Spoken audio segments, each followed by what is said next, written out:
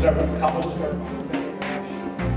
So, uh, we want to, we're, uh, we still, well, so those, those those are some of the things I'd like to kind of discuss.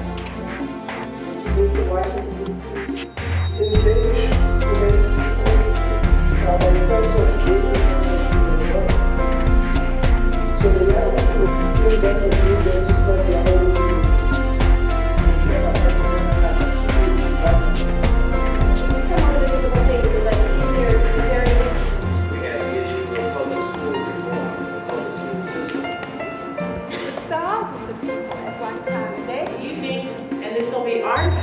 dance, but we- we've got to make.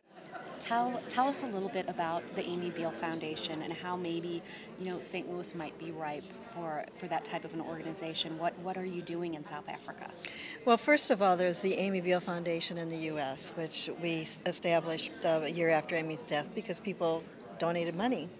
And we really thought we would be able to maybe help, you know, just go to South Africa. People asked us to come and help, and so we might donate, you know, bits of money. But as we spent more time there and people said we really need to come and help, we sat down with the communities that um, had lots of ideas and lots of concern for their children because of the, the continual violence, which was once political violence, was now just violence because of lack of education, opportunity, skills, and whatnot. So the people in the communities knew exactly what they wanted in many many regards, but they had no resources.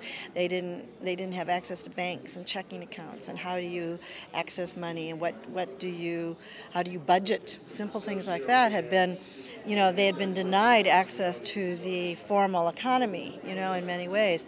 If you were wanting to have a class in cooking for kids, how do you go and buy in bulk instead of little, you know, because that, they were used to having a sponsor shop down the street. So there are all kinds of things. So as being a facilitator and helping to develop the skills that they can run their own uh, after school programs and that sort of thing. That was sort of the idea. So sitting down at the very grassroots level, listening to what people needed, and they needed just what kids here need.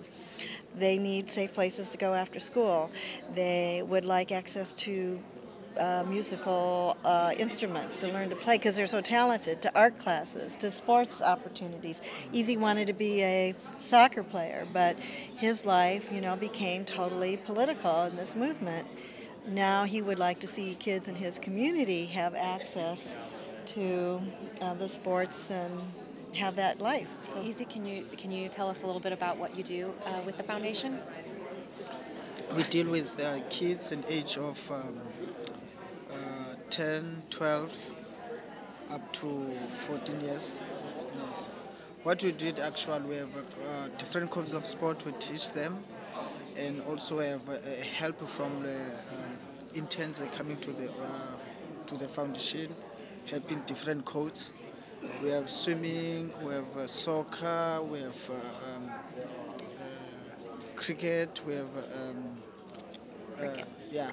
So what we do is just to train them, and uh, um, Is it competitive? The kids, oh, they compete against each other. Yeah, like we have a- we have uh, tournaments. After we tournament, the tournaments when the school is vacation, then we have tournaments where they are playing with different uh, uh, uh, players. Do you see it making a difference with the 10, 11, 12, 13 year olds? Do you see less violence? Do you see that the children that are involved with the program are they getting in less trouble? Do you track that?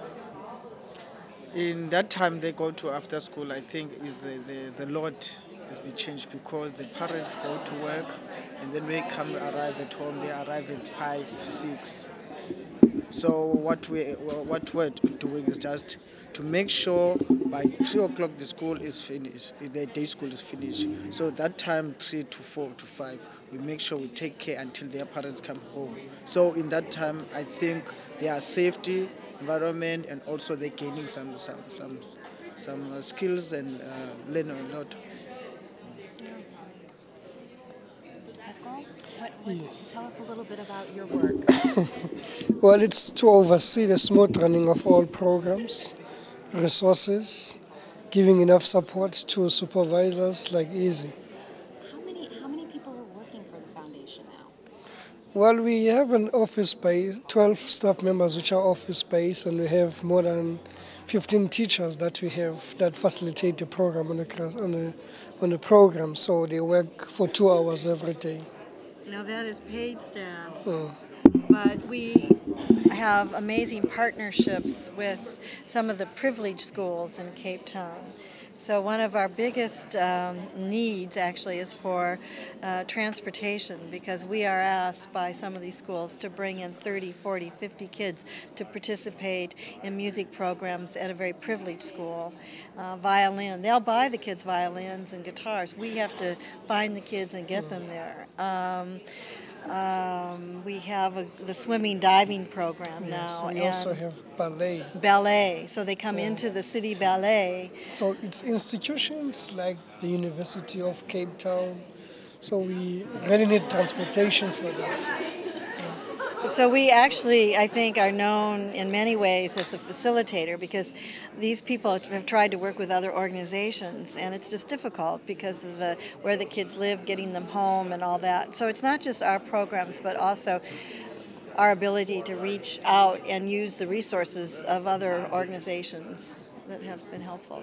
Maybe just one more thing. I mean, if you were talking to the people of St. Louis about reconciliation and what it can do for us, um, the problems we're having here that are all pretty much involving racial issues, what, what would you say? I think it's up to the people here in St. Louis what they need, what they want to achieve, what shape of the, the, the, the environment they want to see their kids to, to, to, to grow or to, to live on. So I think is they need to sit down and, and, and, and make sure what they need. Have a vision. Vision. Yeah, I think a lot of people get lost. You know, they see the problems, they don't know what to do. But really, once you do have a vision and you really can focus on something and you start realizing other people are focusing, and then you reach out and are willing to, to link arms and work together.